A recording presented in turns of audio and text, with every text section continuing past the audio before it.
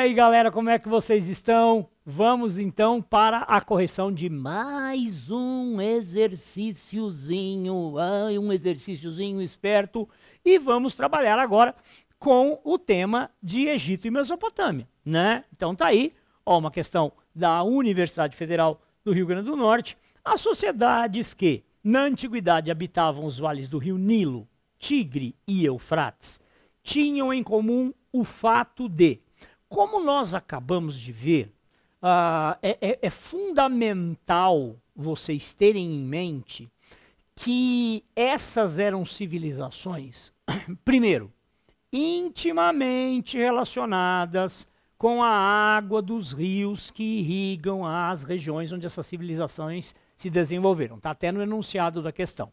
Então, são sociedades que naturalmente dependem muito da água desses rios. E quando a gente fala em, em agricultura, então nós estamos pensando em, em, em agricultura irrigada. Tá? Então, o que é que são características comuns? É aquilo que a gente falou no começo da aula. Né? Ó, eles são sociedades é, estados teocráticos, sociedades estamentais, um alto grau de centralização.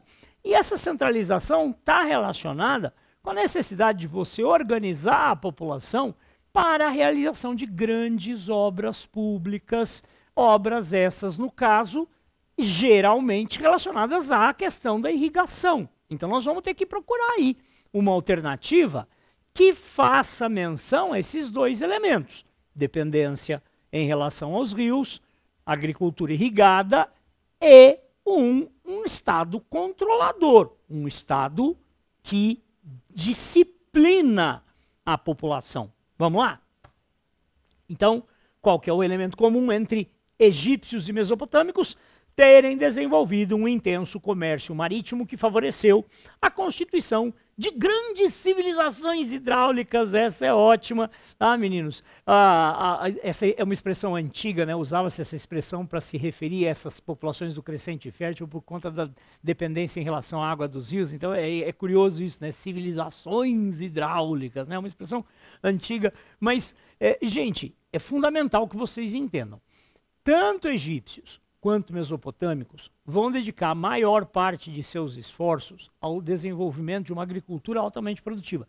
Existe comércio? Existe comércio, é um comércio que está sob é, rígido controle do Estado, mas a base da economia é a produção agrícola. Tá? Então não são nem egípcios, nem mesopotâmicos se tornarão famosos por serem grandes navegadores. Tá? Nessa região aí, nessa época, os grandes navegadores são os, os fenícios, tá? Então, então tá errado. Vamos lá. Serem povos orientais que formaram diversas cidades-estado, as quais organizavam e controlavam a produção de cereais. Ó, lembrando que dessas civilizações das quais nós estudamos, apenas os sumérios se organizavam em cidades-estado independentes entre si. as demais, tanto egípcios quanto caldeus, assírios, amoritas, tanto, tanto egípcios quanto os demais povos mesopotâmicos se organizaram através de estados centralizados de grandes impérios, a, a, cuja religião era elemento fundamental, onde, em geral, o governante é visto é, é associado a divindades. Então, são grandes estados altamente centralizados. Tá? Haver impossibilitado a formação do Estado a partir da produção de excedentes, da necessidade de controle hidráulico e, de, e da diferenciação social. Perfeito, perfeito. É isso aí, ó.